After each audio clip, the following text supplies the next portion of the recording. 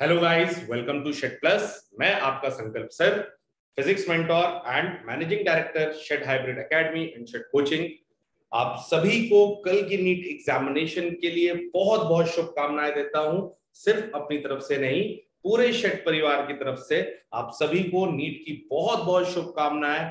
कल वो दिन है जिसका तुम्हें था इंतज़ार बहुत ज़्यादा। इस उपलक्ष्य में कुछ लाइनें हैं आपके लिए। बिल्कुल पॉजिटिव रहेंगे हम। कुछ लाइनें हैं जो खुद लिखी है मैंने। ठीक है? तो पेश है आपके सामने। आ गई वो घड़ी है, आ गई वो घड़ी है जिसका तुम्हें और हमें, आ गई वो घड़ी है जिसका तुम्हें और हमें बेसब्री से इंतज़ार था।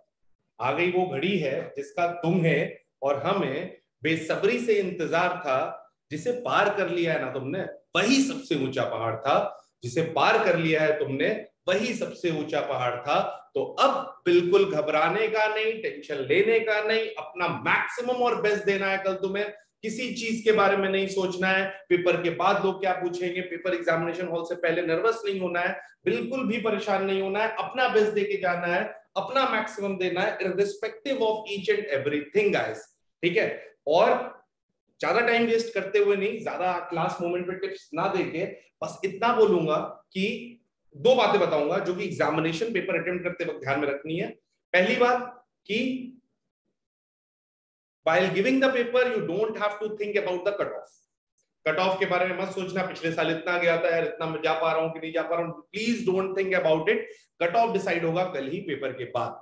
तो पेपर कैसा भी आए इजी आए टफ आए कट ऑफ़ बाद में डिसाइड होता है तो पेपर देते वक्त तुम्हें कट ऑफ़ के बारे में नहीं सोचना है, बस पेपर को ईमानदारी से अटेम्प्ट करना है और अपना मैक्सिमम लेवल पे अटेम्प्ट करना है।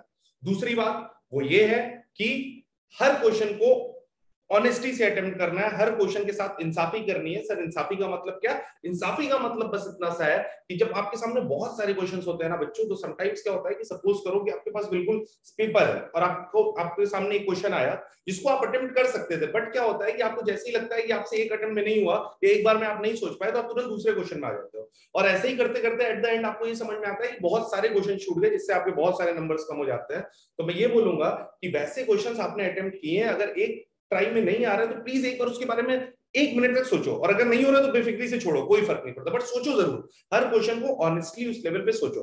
किसी भी चैप्टर का सवाल है सपोज़ कोई भी सवाल, जैसे सपोज़ करो सरफेस टेंशन का सवाल है तो सबसे पहले अपने दिमाग में सरफेस टेंशन की जल्दी से सारे फॉर्म में सोच लो।